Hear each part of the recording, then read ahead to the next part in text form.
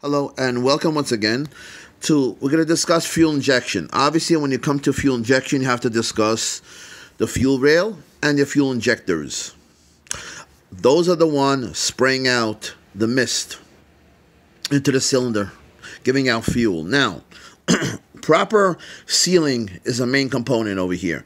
You have to seal the fuel injectors and also pressure regulators correctly with proper seals, O-rings like you see over here, head gaskets for engines. When you have, let's say, a reservoir, okay, could be power steering, could be brake fluid, and they go to lines, high pressure lines or um, brake lines, you have to have seals at the proper points. Otherwise, you will have leaks. So therefore, look at this fuel injector. Now, we're not going to schematics, we're going to pictorial. Pictorial diagram tells you how many fuel injectors you have here. One, two, three, four, five, six. How many cylinders in that engine? If you said it's a four cylinder, you're wrong. This is V6. If they have six injectors, you have a V6. Now, our O-ring is over here on the top. This is where the connector is going. Okay, this is the electrical connector right here. The bottom one has an O-ring as a seal. The top one has an O-ring. okay? It's very important if they are cracked or brittle, always put in as a practice, put in new O-rings when you do this type of work. Now, you notice one more thing. Fuel inlet. What do you see over here? Another O-ring. Where is the fuel going in? in this direction through the fuel fuel filter, fuel rail, it's coming in here. Where is it going out? The fuel is coming in here, spraying into each one, and then where's the outlet? Right here. And what do we have here? Another O-ring. To seal, wherever there's a liquid, you have to contain it. Okay, like we just said. Otherwise, you could have leakage problem. Now, let's say we have a problem we're running too rich. That means we have too much fuel. Not enough air for that much fuel. They don't match. Okay, you get a code, you put the scanner or code reader, and it tells you running rich. A faulty component can be where the fuel injector is leaking too much. When it's leaking too much, guess what happens? Guess what comes out here? Too much fuel. Too much fuel means the computer says, wait a second this is the inputs, correct? Here's the engine. This is the intake. In. Exhaust, this is the out. Out. This is the byproduct of what comes in. If this is rich, which we have in our case, what does that tell you? That means there's something wrong with the input. The input in this case being too much fuel. From what? The fuel injector being leaky. That will give you that symptom of too much richness or too much fuel coming in here. Oxygen sensor says, not my fault. I'm just reporting what's going on. I see too much fuel coming out from this mixture in here. I'm going to report it to the computer. The computer says, I can't control it. I cannot close it off to put less fuel because there's a problem with that component. But the computer doesn't know that that's a faulty component. You that's what you have to figure out. So, how important is it to have proper sealing? Like we said, if you have a power steering reservoir, like the Chevy Express fans, okay? On the bottom over here, when I looked, there's a fuse box. Okay? There's other hoses over here. I see dampness all over. Wetness, I see. What's the first thing that you do? You look up and you say it might be coming from something above. So here's the reservoir, power steering, PS. That's not power supply, that's power steering. Reservoir, not the pump, the reservoir. Is it possible it could be leaking from above? Yes, it can. This is the error that most mechanics make.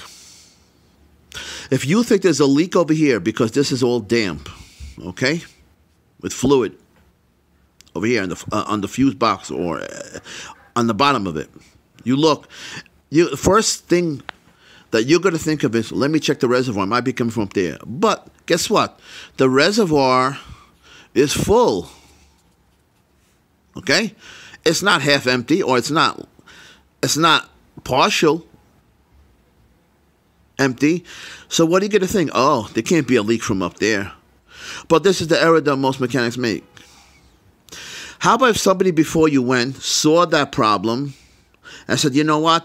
I'm going to put in more fluid, more power steering fluid or transmission fluid, depending on obviously the make and model. I'm going to fill it up. Okay? So you're going to think right away, there's nothing wrong here, and it must be somewhere else. But how did it get to the bottom of the fuse box then if there's somewhere else? Could be from the coolant lines. Coolant maybe there's a crack on the on the on the um, uh, uh, radiator on the upper radiator hose. It could be. So that's a mistake to make. Don't ex- don't assume just because this is full, there's no leak coming from there. The proper way to do it is to, to, put a dye or to put a pressure tester on a coolant system on the radiator. You put a dye through it, through the system. Everything has a different dye. Then whatever is the problem will show up. A UV dye on the air conditioning. So seals are important. If you have your brake master, master cylinder, and you have lines going out, okay, to the braking system, these seals are broken or cracked or whatever, you're going to have leaks. But what happens? Somebody else already put the fluid in there. You're going to say, no, it's not, it has nothing to do with this. It has something to do with something else. From here to here to the vacuum booster, which gives us multiplies the force from the from the pedal. there could there are seals over here. This could leak backwards into this. Another example. You have your transmission here. You have four-wheel drive, two-wheel drive. You have a transfer case. Okay, transmission. Transfer case. There are seals in here, there are seals over here. You look at your transmission fluid, it's low. What's the first thing that comes to your mind? Oh no, a costly venture. I think obviously something is wrong. The clutches, the bands, anything, the, the pump, any something might be leaking inside. But remember, there's a seal over here. If this seal over here is bad, guess where it leaks? It's going to leak right here. So you can't assume that that's that part right away. Now, another thing. I'll pause this for. Now, another word about seals, proper sealing, and this. Also, you have to understand one thing. There are transverse engines where the engines are going this way, and sometimes longitudinal, longitudinal um, engines going this way if it's rear wheel drive. So the transverse engines going side to side, let's say, there's a radiator hose. The radiator, upper radiator hose over here goes through the thermostat.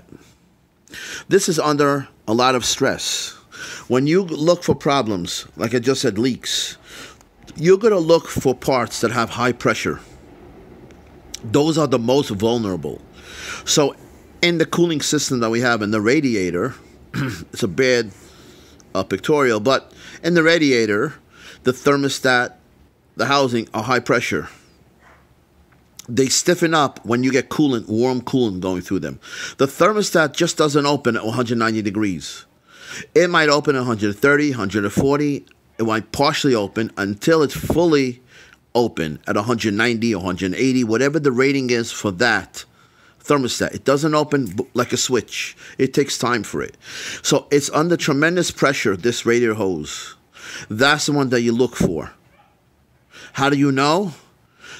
You squeeze it, make sure it comes back to its original form. It shouldn't be too hard, too stiff, should be too soft, too spongy. Now, going also to high pressure lines from the power steering pump, same idea. Those are the most vulnerable. Okay. Now, in compressors also, in cooling line, in uh, air conditioning, what has the high pressure? What's a compressor? We're compressing a vapor, a gas, from low pressure to high pressure. What do you think is going to take the bolt, the grunt of the the uh, the pressure? The compressor, obviously. Out here are O-rings. Sometimes you have problems with the O-rings where they leak. Why? Whatever is high pressure puts an amazing force, an amazing um, uh, not pressure, but um, an amazing um, thinking of the right word. Um, ex, ex, uh, I'm thinking of the right word. Uh, a tremendous burden. That's the word. it took me time. A tremendous burden on that hose, on that component being a compressor, or power steering. So those are the ones that you look for. You concentrate on high, on gaskets, seals, O-rings, high pressure hoses, actuators, whatever has O-rings, compressors. okay, that's what you concentrate on. Now, to look at this on the radiator, on the radiator over here, many people are not really familiar with this, but they also have transmission cooling, uh, oil cooling lines on the bottom over here. Sometimes you'll see metal conduits or pipes. Here's the radiator. Here's the radiator, excuse me. Here's the radiator. Okay, here's the radiator. It's going like this. All the coolant is flowing until it gets where? To the bottom. To the bottom radiator hose. This was the top hose. This is the bottom hose. Once it gets here, it's already cooled off. But you still have trans transmission oil cooler over here. Sometimes you even have a power steering cooler next to the radiator. Sometimes you even have engine oil cooler in trucks, vans, because they get real hot. Remember, they are being used 24 7. so you need to cool off these parts. Now, the radiator, going to another part. We just talked about a V6, V8. So, a serpentine belt means one belt that is used for all the pulleys. And obviously, the popular on V8s and V6s. the biggest one on the bottom is always the crankshaft pulley. This is a pulley. Power steering, if you would trace it back, you would see it coming from the reservoir. Okay? The reservoir which has the fluid. The water pump usually goes to the fan if it's mechanical. So therefore you would see the fan connected to this, you know it's the water pump. This is an air pump, which is something on some vehicles that have air pumps where they where they introduce more air to have more com uh, combustion.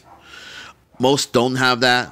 Most would have over here. They would have a compressor over here. Sometimes it's up here, the compressor, the clutch. Sometimes it might be down here. The tensioner is the one that gives tension. As you can see, it's giving tension on the belt. See how it's pushing it down? It's giving tension. This one over here, but you can see by these fins over here, cooling fins, a fan is the alternator. So, needless to say, if this is loose, and you always hear that ticking noise, sometimes it's no, it's it's loose. As it warms up through friction and everything gets warmer, the belt gets warmer and that noise goes away. You know you're dealing with something with a belt problem. However, it might be a pulley. You always, when you change this, when you change the serpentine belt, that's after 60,000 miles, 70,000, you change the tensioner or an idler pulley. They even come with some kits. Now, how far is loose, how far is tight. If you could put in, if I could put my finger here and it could go down about a fourth of an inch or half an inch, that's good. If it goes down too much, it's too loose.